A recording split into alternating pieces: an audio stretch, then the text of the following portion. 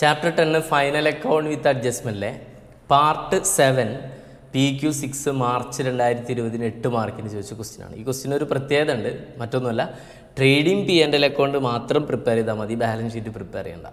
Okay trial balance തന്നിട്ടുണ്ട് trial balance ഇവിടെ തന്നിരിക്കുന്ന അറേഞ്ച്മെന്റും സാധാരണ തരുന്നതിലും ചെറിയൊരു ടിസ്റ്റ് ഉണ്ടൊന്നുമില്ല ഡെബിറ്റും ക്രെഡിറ്റും വേറെ ആയിട്ട് തന്നെ തന്നുള്ളൂ മറ്റേ ഒരു particular column debit amount credit amount ഇവിടെ ഡെബിറ്റിൽ particular amount ക്രെഡിറ്റിൽ particular amount okay from the following trial balance and addition information given in the respect of Cochin ട്രേഡേഴ്സാണ് prepare trading P and L account for the year ended thirty first March two thousand eighteen addition information salary outstanding വന്നിട്ടുണ്ട് provide five percent debtors provision ഉണ്ട്. Insurance prepaid ഉണ്ട്. Depreciation ഉണ്ട്. Closing stock പതിനാല് ഇരുന്നൂറുണ്ട് നമുക്ക് direct എന്ത് ചെയ്യാം? ആൻസറിലേക്ക് പോകാൻ വലിയ പ്രശ്നങ്ങൾ ഉണ്ടാവില്ല. ഫസ്റ്റ് വൺ പറയുന്നത് ഏതാണ്? സ്റ്റോക്കാണ് ഓപ്പണിംഗ് സ്റ്റോക്ക് ട്രേഡിംഗ് അക്കൗണ്ടിൽ എഴുതേണ്ടതാണ്. To opening stock twelve thousand eight hundred അടുത്ത ഐറ്റം പറയുന്നത് ക്യാഷ് ആണ്. ക്യാഷ് അസറ്റ് സൈഡിലുള്ളതാണ് ബാലൻസ് ഷീറ്റ് നമ്മൾ പ്രിപ്പയർ ചെയ്യുന്നില്ല അതുകൊണ്ട് മൈൻഡ് ചെയ്യേണ്ട. വേജസ് ഉണ്ട്. വേജസുമായി ബന്ധപ്പെട്ട വേറെ അഡ്ജസ്റ്റ്മെന്റുകളോ മറ്റൊന്നും കാണാനല്ല. അപ്പോൾ വേജസ് ടു വേജസ് എന്ന് പറഞ്ഞു. മുപ്പത്തയ്യായിരം. ഡയറക്റ്റ് എക്സ്പെൻസ് ആയിട്ട് ട്രേഡ് അക്കൗണ്ട് ഞാൻ പറഞ്ഞു ആദ്യം നിങ്ങൾ പോസ് ചെയ്തിട്ട് ക്വസ്റ്റ്യൻ നന്നായി വായിക്കുക. വായിക്കുമ്പോൾ എന്ത് ചെയ്യുക സാലറി ഔട്ട്സ്റ്റാൻഡിങ് ഉള്ളതുകൊണ്ട് സാലറി എത്തുമ്പോൾ അതിലൊരു നോട്ട് ചെയ്യാം. എ എന്നുള്ളത് സാലറി ഔട്ട്സ്റ്റാൻഡിങ് അവിടെ ഉണ്ട് എന്നുള്ളത് ക്ലിയർ ആക്കാൻ വേണ്ടി. ഓക്കെ അടുത്ത് ഡ്രോയിങ്സ് ആണ് നമ്മളിപ്പോൾ ബാലൻസ് ഷീറ്റ് പ്രിപ്പയർ ചെയ്യാത്തതുകൊണ്ട് അതിനെക്കുറിച്ച് എന്ത് ചെയ്യണ്ട? ബോധനാവണ്ട ദെൻ ഡെപ്റ്റേഴ്സ് ഉണ്ട്. പക്ഷേ ഡെപ്റ്റേഴ്സ് ബാഡ് അപ്റ്റ് എടുക്കുന്നുണ്ട്.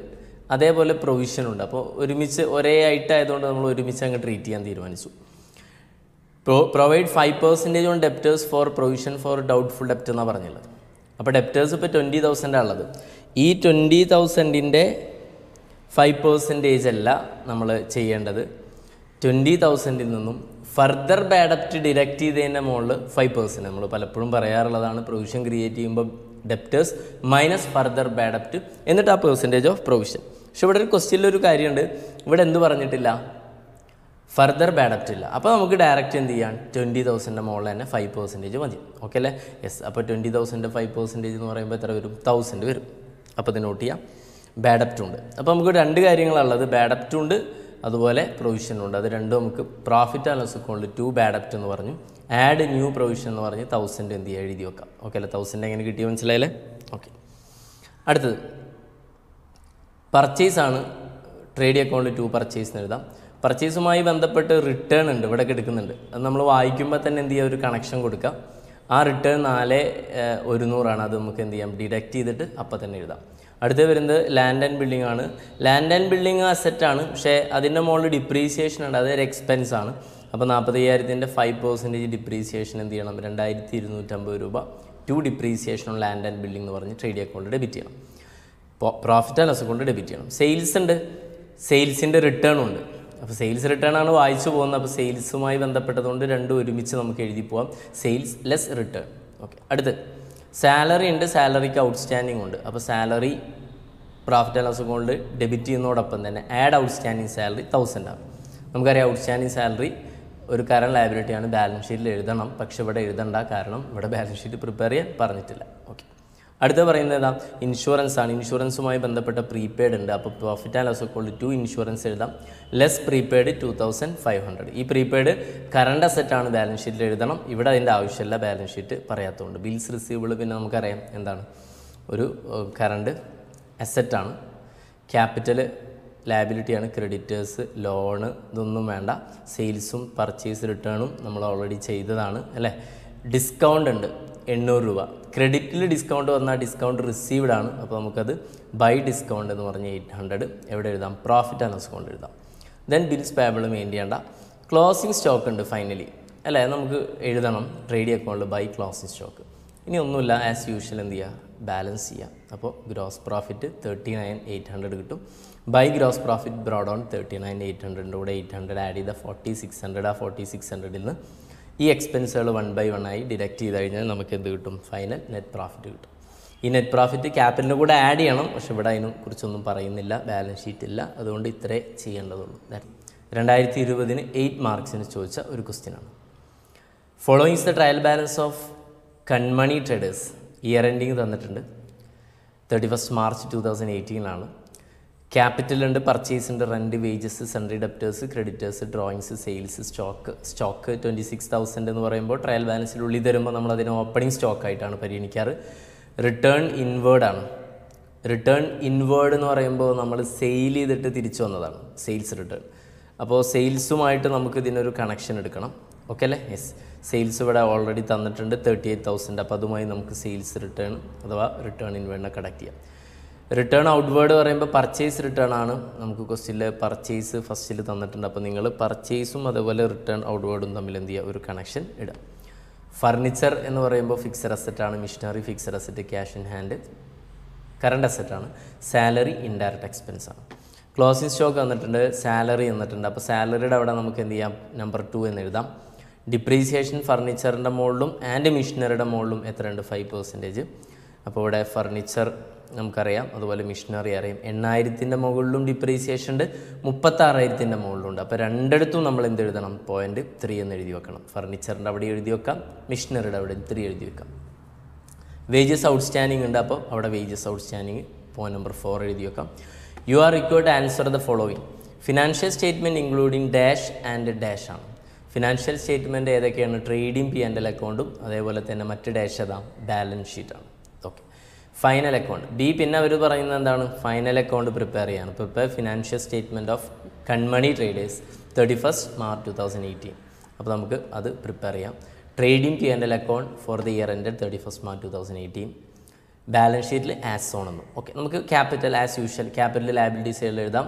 Okay seventy five thousand then purchase ഉണ്ട് പർച്ചേസുമായി ബന്ധപ്പെട്ട പർച്ചേസ് റിട്ടേൺ ഇവിടെ ഉണ്ട്. അപ്പോൾ നമ്മൾ നിങ്ങൾ ഓൾറെഡി എന്ത് ചെയ്തിട്ടുണ്ടാവണം? ഒരു ലൈന് കണക്ഷൻ ഇട്ടിട്ടുണ്ടാവണം. അപ്പോൾ നമുക്ക് ടു പർച്ചേസ് ചെയ്ത് ഒപ്പം തന്നെ റിട്ടേൺ ഡിഡക്റ്റ് ചെയ്തിട്ട് വരാം ട്വന്റി ത്രീ തൗസൻഡ് അടുത്ത ഐറ്റം പറയുന്നത് റെന്റാണ് റെന്റ് ഒരു ഇൻഡയറക്റ്റ് എക്സ്പെൻസ് ആണ്. പി എന്റെ അക്കൗണ്ടിൽ ടു എന്ന് എഴുതി പറഞ്ഞ് എഴുതണം. വേറെ അഡ്ജസ്റ്റ്മെന്റുകളോ മറ്റൊന്നുമില്ല. വേജസിൽ എന്ത് വരുന്നുണ്ട്? ഔട്ട്സ്റ്റാൻഡിങ് വേജസ് വരുന്നുണ്ട്. അപ്പോൾ wages three thousand two hundred ഉണ്ട്. അപ്പോൾ ട്രേഡി അക്കൗണ്ടിൽ to wages add outstanding wages six hundred അപ്പോൾ മൂന്ന് എണ്ണൂറ് വരും. ഈ six hundred outstanding wages current liability ആയതുകൊണ്ട് ബാലൻസ് ഷീറ്റിൽ ലാബിലിറ്റീസിൽ എഴുതാനും മറക്കണ്ട.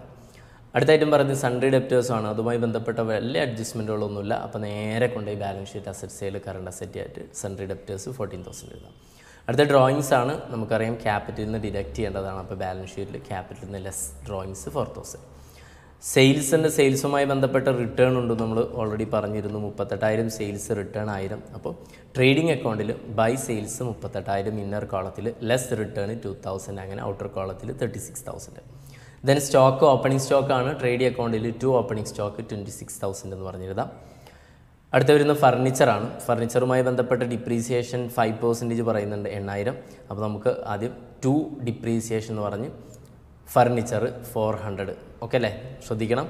ഇവിടെ ഫർണിച്ചറിന്റെ എമൗണ്ട് എയ്റ്റ് തൗസൻഡ് ആണ്. ആ എയ്റ്റ് തൗസൻഡിന്റെ ഫൈവ് പെർസെന്റേജ് എയ്റ്റ് തൗസൻഡിന്റെ ടെൻ പെർസെന്റേജ് എണ്ണൂറാണ്. അപ്പോൾ ഫൈവ് പെർസെന്റേജ് എത്ര ആവും? ഫോർ ഹൺഡ്രഡ് ആവും. അതാണ് എഴുതിയുള്ളത് ഒപ്പം തന്നെ ഫർണിച്ചർ ബാലൻസ് ഷീറ്റിൽ അസറ്റ് സൈഡിൽ എഴുതിയിട്ട് less depreciation four hundred deduct ചെയ്ത് സെവൻ തൗസൻഡ് സിക്സ് ഹൺഡ്രഡ് എഴുതാനും മറക്കണ്ട. ഓക്കെ മിഷനറിക്കും ഇതേപോലെ മുപ്പത്താറായിരത്തിന്റെ അഞ്ച് ശതമാനം എന്തുണ്ട് ഡിപ്രീസിയേഷൻ ഉണ്ട്? അപ്പോൾ ടു മിഷനറിയുടെയും ഡിപ്രീസിയേഷൻ എഴുതണം. ട്രേഡ് പി ആൻഡ് എൽ അക്കൗണ്ടിൽ ടു മിഷണറി ആയിരത്തി എണ്ണൂറ് മുപ്പത്താറായിരത്തിന്റെ അഞ്ച് ശതമാനം. രണ്ട് ഇരുന്നൂറ് ടോട്ടൽ ഡിപ്രീസിയേഷൻ എഴുതാം. മിഷണറി തേർട്ടി സിക്സ് തൗസൻഡ് എവിടെ എഴുതാം? ബാലൻസ് ഷീറ്റിൽ എഴുതി. അതിൽ നിന്നും എന്ത് രസ് ചെയ്യണം? Depreciation thousand eight hundred deduct ചെയ്യണം. അപ്പോൾ മുപ്പത്തിനാല് ഇരുന്നൂറ് വരും. ദെൻ പിന്നെ പറയുന്നത് ക്യാഷ് ഇൻ ഹാൻഡ് ആണ്. നമുക്ക് കറണ്ട് അസറ്റാണ് ബാലൻസ് ഷീറ്റ് അസറ്റ് സൈഡിൽ എഴുതാം. സാലറി പറയുന്നുണ്ട്. സാലറിയുമായി ബന്ധപ്പെട്ട പ്രീപെയ്ഡ് സാലറി ഉണ്ട് അത്ര അപ്പോൾ സാലറി സിക്സ് തൗസൻഡ് ആണ് ലെസ് പ്രീപെയ്ഡ് ആണ് അപ്പോൾ ഫൈവ് തൗസൻഡ് ടു ഹൺഡ്രഡ് വരും. അറിയാം ആറായിരം രൂപ സാലറി കൊടുത്തിട്ടുണ്ട്. പക്ഷേ ഈ വർഷത്തെ സാലറി അഞ്ച് ഇരുന്നൂറുള്ളൂ. എണ്ണൂറ് രൂപ സാലറി അഡ്വാൻസ് ആയിട്ട് എന്ത് ചെയ്യാണ് ഒരു എംപ്ലോയിക്ക് കൊടുത്തത്. അത് അത് അടുത്ത കൊല്ലത്തെ എന്താണ്? എക്സ്പെൻസ് ആയിട്ട് ട്രീറ്റ് ചെയ്യുള്ളൂ. ഇക്കൊല്ലത്തെ എക്സ്പെൻസിൽ നിന്ന് അത് കുറയ്ക്കണം. പ്രീപെയ്ഡ് എക്സ്പെൻസ് ആണ്. അപ്പോൾ എക്സ്പെൻസ് മുൻകൂട്ടി കൊടുത്താൽ അതൊരു അസറ്റായിട്ട് ട്രീറ്റ് ചെയ്തിട്ട് ബാലൻസ് ഷീറ്റിൽ അസറ്റ് സൈഡിൽ എഴുതുവാൻ മറക്കണം ഇനി നമുക്ക് ക്ലോസിംഗ് സ്റ്റോക്ക് ഉണ്ട്. ക്ലോസിംഗ് സ്റ്റോക്ക് എന്ത് എഴുതാം? Trading account by closing stock എഴുതാം. ഓക്കെ ഒപ്പം തന്നെ ബാലൻസ് ഷീറ്റിൽ എഴുതണം. ഓക്കെ എന്നിട്ട് നമ്മൾ എന്ത് ചെയ്യും? ഗ്രോസ് പ്രോഫിറ്റ് എഴുതി. As usual gross profit brought on ചെയ്തു. ബാലൻസ് ചെയ്തപ്പോൾ നെറ്റ് പ്രോഫിറ്റ് കിട്ടി. നെറ്റ് പ്രോഫിറ്റ് നമ്മൾ എന്ത് ചെയ്യണം? ഓക്കെ ഇവിടെ ക്ലോസിംഗ് സ്റ്റോക്ക് എവിടെ എഴുതാൻ മറക്കരുത്? ബാലൻസ് ഷീറ്റിൽ എഴുതാൻ മറക്കരുത്. നെറ്റ് പ്രോഫിറ്റ് ആഡ് ചെയ്തപ്പോൾ ഡ്രോയിങ്സ് ഉണ്ടായിരുന്നു ഫോർ തൗസൻഡ് അത് എന്ത് ചെയ്യണം ഡിഡക്റ്റ് ചെയ്ത് നമുക്ക് വന്ന final answer seven nine four hundred ആണ്. ഓക്കെ അല്ലേ? അപ്പോൾ നയന്റി സിക്സ് തൗസൻഡ് ടോട്ടൽ ഇവിടെയും നയന്റി സിക്സ് തൗസൻഡ് ഇതോടുകൂടെ നമ്മൾ എന്ത് ചെയ്യണം? നമ്മുടെ ഈ ചാപ്റ്റർ ഇവിടെ അവസാനിച്ചിരിക്കുന്നു. ഓക്കെ അല്ലേ? അപ്പോൾ ഈ ചാപ്റ്ററുമായി ബന്ധപ്പെട്ട് നമ്മൾ മുൻകാലങ്ങളിലെ ക്വസ്റ്റ്യൻസ് സോൾവ് ചെയ്യാണ് ചെയ്തിട്ടുള്ളത്. അല്ലാതെ നിങ്ങൾക്ക് എന്താണ് ട്രേഡിംഗ് അക്കൗണ്ട് ട്രേഡിംഗ് അക്കൗണ്ടിൽ ഡെബിറ്റിൽ എന്താ വരിക ക്രെഡിറ്റിൽ എന്താ വരിക അങ്ങനെയുള്ളതല്ല അതിന് നിങ്ങൾ നമ്മുടെ ബ്രിഡ്ജ് കോഴ്സിൽ ഞാൻ പറഞ്ഞിരുന്നു.